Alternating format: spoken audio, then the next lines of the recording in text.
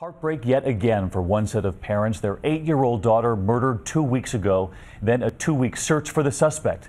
Tonight, authorities say the killer was right there in the home. Their 12 year old son now charged. Here's ABC's John Schriffen.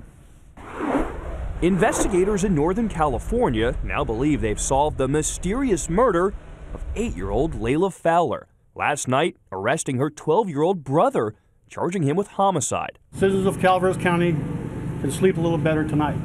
A little more than two weeks ago, this quiet community outside Sacramento was rocked when little Leila's brother told police he found her body stabbed to death after a man broke into their home. You wouldn't expect something like this to happen to him.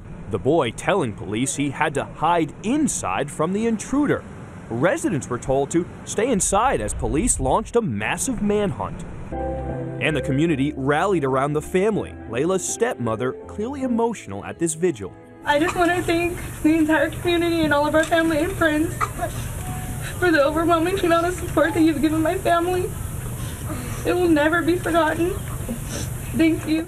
While weeks of searching turned up nothing, police analyzed multiple knives found inside the home.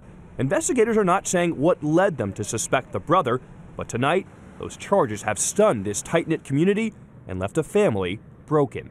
John Schriffen, ABC News, New York.